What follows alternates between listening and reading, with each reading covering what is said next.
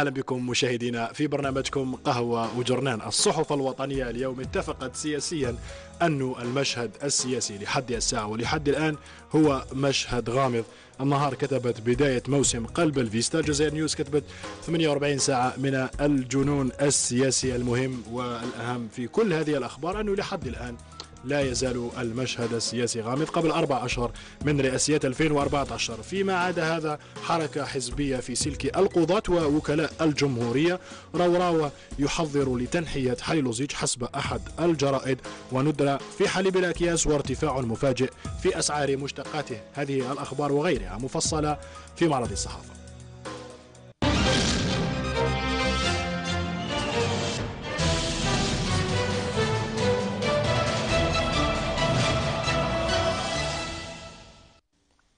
أهلا بكم مشاهدينا في معرض الصحافة الوطنية الجزائرية اليوم الاثنين السادس من جونفي الذي نستهله بجريدة النهار، النهار كتبت بداية موسم قلب الفيستا، الشيخ فركوس من يحتفل بالمولد فهو شيعي، جاء المقال في مجموعة تصريحات لرؤساء الأحزاب في ظل عدم تأكد من ترشح رئيس عبد العزيز بوتفليقة سعداني، لا نبحث عن مرشح آخر لأن بوتفليقة مرشحنا. قال الأمين العام قال الأمين العام لجبهة التحرير الوطني عمار سعداني أن الحزب سيقود في 11 من الشهر الجاري تجمعا كبيرا يضم مجموعة من الأطياف لمطالبة الرئيس بوتفليقة بضرورة الترشح لرئاسية 2014 وأن على جماعة المناوئين أن يتيقنوا أن المتآمرين بأمرهم سينتهون في 2014 بصفة نهائية. أبو جرى سلطاني سأترشح باسم حمص في الرئاسيات المقبلة حيث قال رئيس السابق لحركة مجتمع السلم إنه مستعد للترشح للرئاسيات المقبلة إذا رشحه مجلس الشورى الوطني للحزب الذي سينعقد الأسبوع المقبل مشيرا إلى أن كل قرار تتخذه مؤسسات الحركة وكل أفرادها ملزمون بالعمل به. في موضوعنا آخر أقر وزير العدل حافظ الأختام الطيب لوح بعد موافقة من رئاسة الجمهورية حركة جزئية في سلك القضاة خلال اللقاء الذي جمعه بأعضاء المجلس الأعلى للقضاء فضلا عن تعيين 336 قاضي جديد وترسيم 532 آخرين في مناصبهم في الوقت الذي استفادت 1113 قاضي استفاد 1113 قاضي من الترقية خلال هذا اللقاء. كشف شيخ السلفية في الجزائر الشيخ فركوس أن الاحتفال بالمولد النبوي الشريف هو من بدء الشيعة الرافضة وليس من أخلاق أهل السنة والجماعة في إشارة إلى أن من يحتفل بالمولد يكون قد طبق أمرا من بدع الشيعة. إلى جريدة الخبر الخبر كتبت غردايا التعفن روراوة يحضر لتنحية حليلوزيتش. حيث طلب تجار غرداية في بيان أعقب اجتماع مراوط باللوح ضمن أرضية مطالب السلطات من أجل وقف الإضراب المتواصل حسبهم منذ 16 يوم والإفراج عن المعتقلين المتهمين بالمشاركة في الأحداث ومحاسبة بعض مسؤولي الشرطة في غرداية على التجاوزات التي وقعت في وقت امتنع فيه أغلب التلاميذ والطلبة في الأحياء التي يقيم فيها المصابيون عن الذهاب للمدارس. ألغى رئيس الاتحادية الجزائرية لكرة القدم محمد روراوة الاجتماع الرسمي الذي كان سيجمعه بالمدرب الوطني وحيد حليلوزيتش يوم الخامس من فيفري المقبل بالجزائر من التباحث من أجل التباحث حول إمكانية تمديد البوسني لعقده مع الاتحادية إلى ما بعد مونديال البرازيل من عدمه. كون رئيس الاتحادية اتخذ قرارا نهائيا بعدم التفاوض مع حليلوزيتش نهائيا حول هذه النقطة. الجزائر نيوز كتبت الجزائر نيوز صارت في الثامنة وأربعين ساعة الأخيرة أخبارا مفادها انفتاح شهية عدد من الشخصيات السياسية المحسوبة على الأوزان الثقيلة للرئاسيات بشكل غير مسبوق بعد أن تناولت العديد من العناوين الصحفية خبر تراجع رئيس عبد العزيز بوتفليقة عن التقدم لنيل ولاية جديدة على رأس الجمهورية وتناهل الجزائر نيوز عبر مصادر متعددة أن عبد العزيز بالخادم ومولود حمروش دخل بشكل جدي على خط الرئاسيات وبالمقابل شرع بشكل جدي في التحضير للإطاحة بعمار سعداني من على رأس الأفلان بتكليف عبد الرحمن بالعياط باستدعاء اللجنة المركزية لانتخاب أمين عام جديد للحزب. جريدة البلاد. البلاد كتبت الإعلام المصري الإرهابيون يحاصرون وزير خارجية مصر نبيل فهمي بالجزائر وكل أنواع السيارات بنصف أسعارها الحقيقة عند الوعد الصادق. قالت العديد من وسائل الإعلام المصرية حسب البلاد أن مجموعات إرهابية تنتمي إلى جماعة الإخوان المسلمين تهدد وزير الخارجية نبيل فهمي الذي وصل اليوم إلى الجزائر العاصمة في زيارة رسمية وهذا بعد الانتقادات التي صدرت من قيادات التيار الإسلامي وخاصة رئيس حركة مجتمع السلم عبد الرزاق مقري الذي اعتبر أن الوزير المصري غير مرحب به في الجزائر معيبا على وزير الخارجية الجزائري رمطلع ممرة استقباله في الجزائر لأنه يمثل الانقلاب العسكري الذي أطاح من خلاله الفريق عبد الفتاح السيسي بالرئيس المصري المنتخب محمد مصري. مرسي. بات ما يسمى بسوق الريح الريح المتواجد بسور الغزلان بالبويرة محجا لآلاف الجزائريين من أبناء الولايات الوسطى فقد أكد الكثير ممن قاموا بزيارة هذا السوق التي يتزعمه شاب الذي يتزعمه شاب يتعدى 46 مثار للكثير من الأسئلة ومداعاة للحيرة. كون صاحب هذا السوق يقوم بشراء كل أنواع السيارات الحديثة بأثمان باهظة ومن ثم يقوم ببيعها بأسعار أقل من سعر شرائها حيث وصل تخفيض سعر إحداها إلى حد الستين مليون سنتيم. جريدة المساء. المساء كتبت ندرة حليب الأكياس وارتفاع مفاجئ لأسعار مشتقاته حيث يبدو أن ما حدث من تلاعبات في مادة الفارينة المدعمة انتقلت عدواه لمسحوق الحليب الذي عوض استغلاله في انتاج في إنتاج حليب الأكياس ذي الاستهلاك الواسع المسوق بسعر في متناول الجميع. أصبح يوجه لإنتاج الأجبان وغيرها من مشتقات الحليب مما أدى إلى تسجيل ندرة في مادة الحليب مثل ما حدث مع مادة الفارينة المدعمة والموجهة لصناعة الخبز. حتى لا يرتفع سعره كونه مادة أساسية في مائدة الجزائريين غير أن بعض الخبازين يحولونها عن وجهتها ويستعملونها في صناعة الحلويات. في الجرائد الناطقة بالفرنسية L'Expression كتبت la malédiction des islamistes حيث ما جرى في تركيا صنع موجات في العالم الإسلامي تبخرت أمال الإسلاميين في الوصول إلى الحكومة أو إلى الرئاسة وذاب حلم مثل الثلج كتبت L'Expression.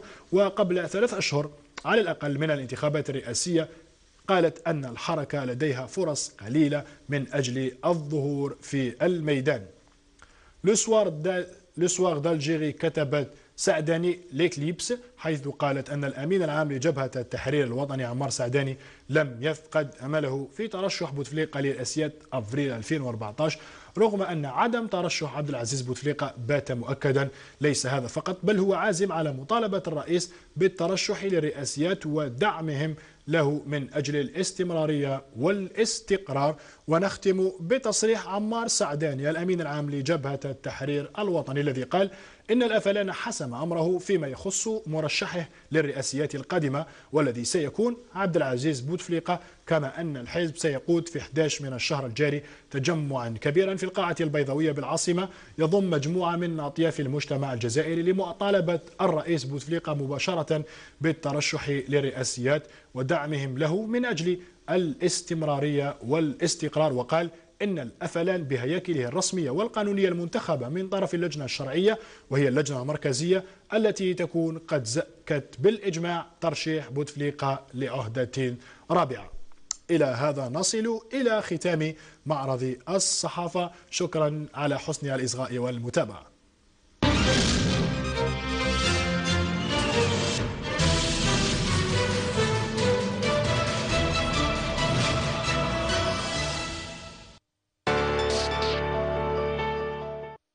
مشاهدينا يحضر معي اليوم السيد نور الدين بن نوار الوزير السابق وعضو اللجنة المركزية بحزب جبهة التحرير الوطني. السيد بن نوار مرحبا بك معنا. صباح الخير. صباح النور. سيد بن نوار كما راك تلاحظ كما راك تشوف كل الصحف تكلمت على حزب جبهة التحرير الوطني. ماذا يحدث في الأفلان قبل الرئاسيات؟ suspense كبير. ممكن نعرف هكذا سؤال مباشر ماذا يحدث في الأفلان سيد بن نوار؟ آه شكرا آه صباح الخير لكل المتتبعين تاع الحصة اللي اصبحت تستقطب كل الرجال السياسيين و شوف هذا شيء يدل على أن الأفلان بدأ يسترجع مكانته في الساحة السياسية قبيل الرئاسيات والناس بدأت تعرف باللي القاطرة تاع جبهه التحرير انطلقت. اسمح لي بنور افلا فقد مكانته أنت قلت بدأ يسترجع مكانته. طبعا طبعا الأزمة عميقة عشناها الواحد ما ندركش شمس بالغربال. كانت كاد أن يتفتت جبهة التحرير آه، عندنا عام كنا مقسومين إلى عايشين بالصراعات وبالعنف. الآن الحمد لله استرجعنا الهدوء واسترجعنا مكانتنا السياسية وبدينا في تطبيق برنامجنا. هيك الناس اللي تخوف وتعرف. يعني الأمور تمشي عادي في الافلان الان, الآن أكيد أن لو كان نقول لك عادي 100% لكن 80% إحنا الخط السياسي تاعنا استرجعناه. نشاطنا السياسي اللقاء اللقاءات اللي راهي تصير ويشرف عليها آه، الأمين العام عبر الولايات الجهوية ورانا مقبلين على 11 في لاكوبول كيفاش هذا واش تسميه؟ هذا هو استرجاع الافلام للقواعد عبر الوطن. الأحزاب هذه ولا الصحف آه، رغم أن نقولوا صحف مستقلة ولا ما تحبش تشوف لا فلان كقاطره وحيدة في الساحة السياسية. طيب آه، البارح بالأمس هكذا اجتماع مكتب سياسي وصفوه بالاجتماع الطارئ وصفوه بالاجتماع المفاجئ. اجتماع طارئ مفاجئ صح سيد بن نوار؟ لا ما هوش مفاجئ ما هوش مفاجئ. لما يجتمع يقولوا على اجتمع لما ما يجتمعش هو كان مثابة تحضير للقاء مهم جدا. اسمح لي سيد بن نقول لك نقطة. اجتماع طارئ لأنه لم يكن محضر ولم يكن معلن منذ يعني قال قال أسابيع ولا جرت التحضيرات هكذا في أسبوع أو في ساعات أو في أيام فقط. شوف إحنا في جبهة التحرير لما تكون مستجدات مستجدات أحيانا أن الاجتماع يصير بعد 24 ساعة.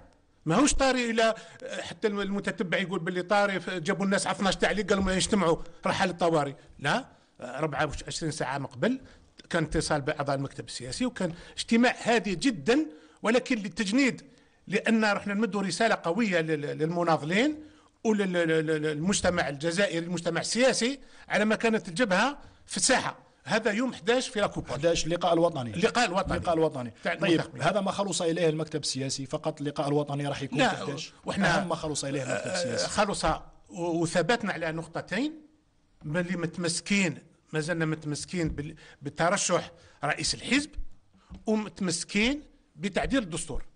هذه قناعتنا. ما نقدرش نغير نغير قناعتنا. والبيان كان واضح. يعني هذه قناعة. قناعة.